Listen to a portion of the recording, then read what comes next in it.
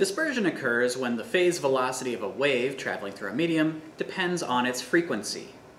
So for example, the angle of refraction of light through a prism depends on its color.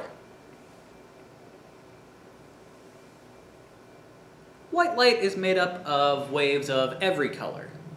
So if I shine it through a prism, each of the different colors gets refracted at a different angle. So we can see all the colors that make up this white light. We can also look at this high tension steel wire.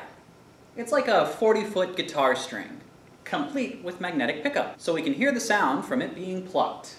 The higher frequency waves are going to race to the back of the room and hear faster than the low frequency waves. So you'll hear a distinctive pew sound.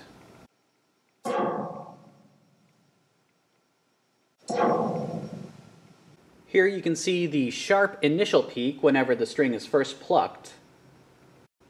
And then on the other side, after the wave is reflected, the various frequencies spread out. So the higher frequencies arrive earlier, and the slower frequencies arrive later.